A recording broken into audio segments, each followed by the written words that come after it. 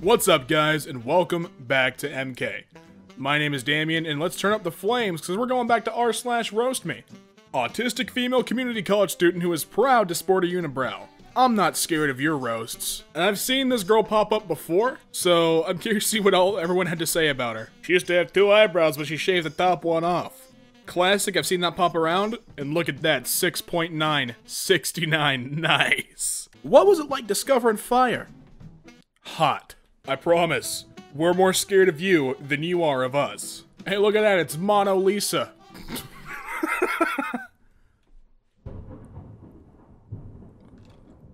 Did you guys hear that? I angered the gods reading that one. Where have you been living since Notre Dame burned down? You look like if Ed from Ed, Edd and Eddy was a female. How does someone with a unibrow so thick also have a receding hairline? Bro, the thunder is gnarly today. My lights keep flickering, bro. It's scaring me, bro. Bro, stop. You're scaring me. Actually, I had bangs before puberty hit, so I decided to grow them out and show my forehead more. You lost the only bangs you'll ever get. Oh! I see why your parents fed you with a slingshot. Their aim must be amazing considering the fact that it must fit through the bars of her cage as well. That's a pretty wordy title. You could have just said, Hey you guys! Community college. Good. Fire. Bad.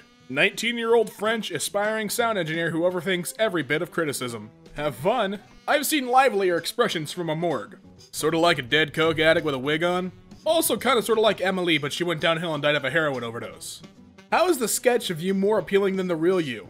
The sketch plus her bio are the most depressing one-two punch I've seen in some time. Huh. I guess Notre Dame is only the second worst thing to happen to France this year. Hey, don't feel too bad, at least Notre Dame can be fixed. you look like a depressed time traveler from the 1940s. That sounds quite nice, actually. You look like you've been crying, have a cold, have no air conditioning, are slathered in Vaseline, and just started feeling the drainage at the back of your throat from whatever you've been snorting all week. You look like the female version of a dude who goes to open houses to steal women's underwear. The dude who still insists on getting his porn from the video store because the internet lacks that personal element. You look like the McPoyle brother who discovered Instagram. And someone put that through an uwu translator and you know I'm gonna read it. You look like you've been crying, have a cold, have no air conditioning, are, are swatted in Vaseline, and just started feeling the drainage at the back of your throat from whatever you've been snorting all week. You look like the female version of a dude who goes to open houses to steal women's underwear. The dude who still insists on getting his porn from the video store because the internet whacks that personal element. you look like the McPoyle brother who discovered Instagram. Ooh. Hair's like a Spanish conquistador from the 1700s. That's what I was going for, yeah. You succeeded. Listens to Joji but doesn't know Filthy Frank. Eh, kind of a miss. Amy Traphouse. Holy crap, I'm keeping that name. Thank you. Keeping your armpits unshaven doesn't make you French. Ah, frick. Sound engineering's a great choice for you. You have a face perfect for radio. Felt cute. Might delete later, I don't know. Oh, bro. Already, we got Fortnite in the background. Let's see when he comments again about Fortnite. Who you trying to contact with them antennas? He's dead. I would clown this man, but his barber already did. Mom? One black guy to another, fix your hairline. I know you're trying to match your hairline shape to the shape of your eyebrows, but bro, you are embarrassing us. This one hurt the most. Hey look, it's Denzel Curry's autistic brother, Darius Paprika. I loved you in Good Burger. You look like you upload Fortnite highlights to a community of 25 subscribers. There it is, there's the Fortnite reference, got it. You look like a bacteria. He's that 0.01% the hand sanitizer couldn't get. You look like a goblin that lives in a fanny pack, stealing the weed of bad children who disobey their parents. A weed hobgoblin. You look like a budget version of ASAP Rocky. ASAP Pebble. a cent. ASAP, but it's a cent. I like that. Must feel odd holding a sign and not having to turn to the left for once. Oh my god. What's odd is I'm holding one without an empty hat. Do your worst. I am a doctor. I've seen everything. How horrible for your patients that the first thing they see after getting clear vision is your face. And he bold you to assume his patients will get a clear vision after he treats them. But Doc, why are you using a rag and a bottle of chloroform to dilate my eyes? Because I'm about to dilate something else. God.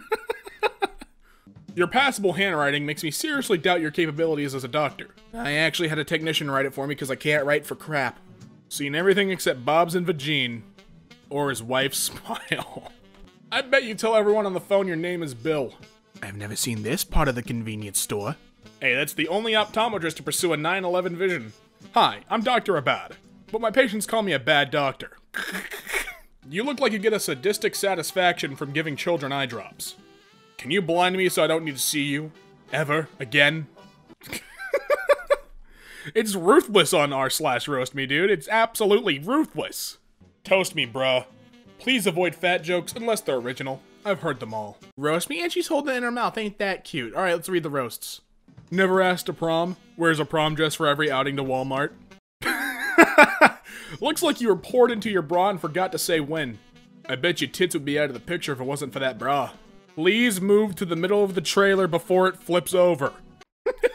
you look like you've been cast as Ursula in China's knockout version of the Little Mermaid remake.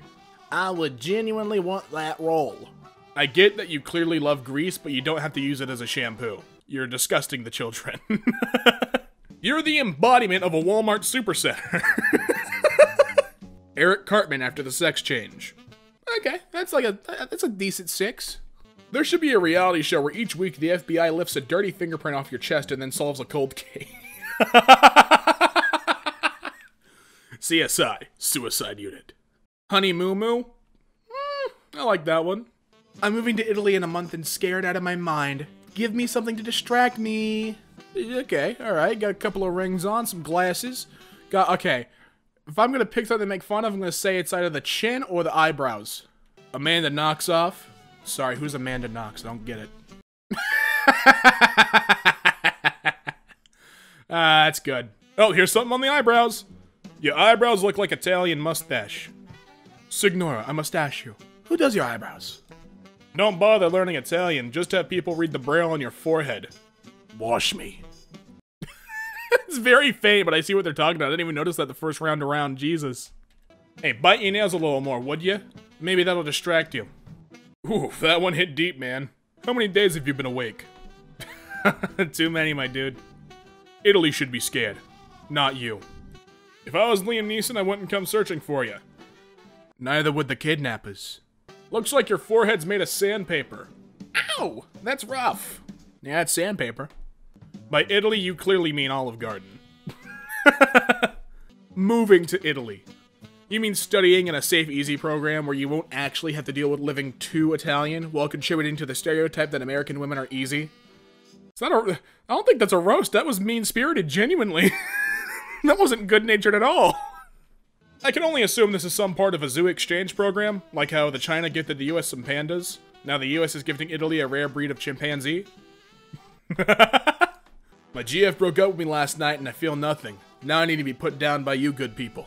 Bro, your hair, it's coming out. The hairline's going down first.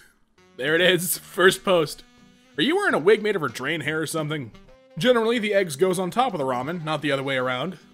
He didn't know, it's okay. Question about the pubes glued to your head. Is that from just one person or did you have to collect them from multiple sources? Yo, for real man, your hair looks really bad. Like, god awful. I'm not even roasting you right now, I'm letting you know man to man, you really need to fix your hair. At least shave your head. They'll look better than the broccoli cutout you got going on now. If it makes you feel any better, she didn't feel anything either. Ah, I see Scott Tenorman tricked you into buying his pubes again. The fact that you managed to get a girlfriend looking like that is a great confidence boost. You look like Sid from Ice Age, and I imagine if I heard your voice it would give me a yeast infection. Hey, maybe she'd take you back if you took the dead squirrel off your head.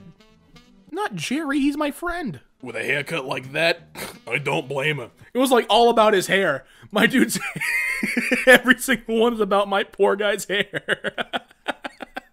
I grew my hair out for two years for this moment. Don't let me down. Another one about hair. Let's go. He's got a pimple right in the middle of his forehead. You see that? Slumdog, Slumdog Million hairs. Nice. Your hair reminds me of Rapunzel. Except with you, you're not just letting your hair down, you're letting your friends and loved ones down as well. Thanks, Rapunzel. You look like you steal scrap metal and iron for a living.